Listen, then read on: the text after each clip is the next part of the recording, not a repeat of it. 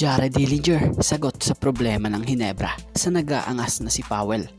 At Joshua Monson tuluyan ang napunta sa Northport.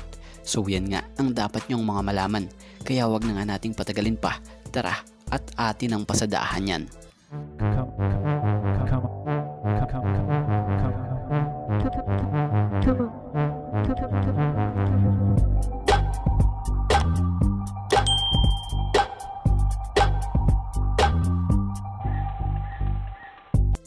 So trade alert, Northport acquired the rights of Joshua Monson. Terra Firma acquired the rights to Kevin Perer. So the deal has been modified to a one-on-one trade as the Jeep received veteran Kevin Perer in exchange for Monson. So matatanda ang hindi ito yung original na trade talaga na naunang isinumite. So di nga po naaprobahan yung una. At ito nga yung naaprobahan yung palitan one-on-one ni Monson and Kevin Perer. So bilang opinion nga natin sa naganap na trade na to ah. So para sa atin, fair trade naman dahil yung Monson halos parang yung laro rin ni Ferrer. Yung base sa nakikita natin ah. So parehas naman silang mahusay. Yung Monson lang mas may advantage kay Ferrer. Ayun nga, yung kahit matangkad siya, kaya niya nga po talagang maging gwardiya rin.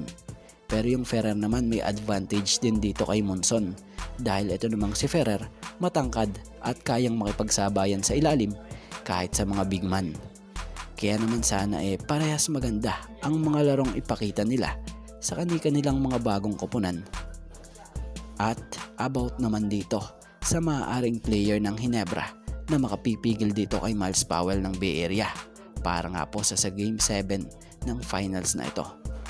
So para sa atin ah, at sa opinion natin, kayang-kaya to ni Daredevil Jared Dillinger kung tutuusin.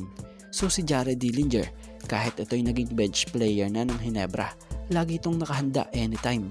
Pansin nyo ba sa kanya, kahit di siya nagagamit, talagang laging bihis at pormadong pormado.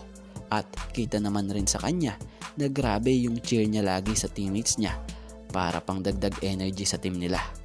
So si Jared, kahit ito nga'y veterano na no, grabe yung hustle nito sa depensa. Ika nga nung iba, mala demonyo raw ito kung dumipensa. So grabe nga tong veteranong to mga ka-teammate. Kahit tayo bilibrito eh, napakasipag din kasi nito.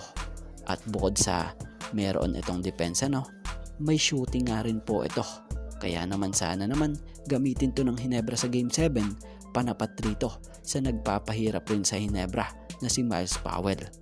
So sa ngayon mga ka-teammate ah, nagbigay nga lang tayo ng suggestion at opinion para rito sa maaaring pwedeng itapat ng Hinebra kay Miles Powell. Pero kung kayo ang tatanungin mga ka-teammate no, anong opinion nyo about rito? So shoutout sa mga solid nating ka-teammate na sila Katsaki Dukusin, Juan Solege, Michael Awao, and Perfecto Manuel.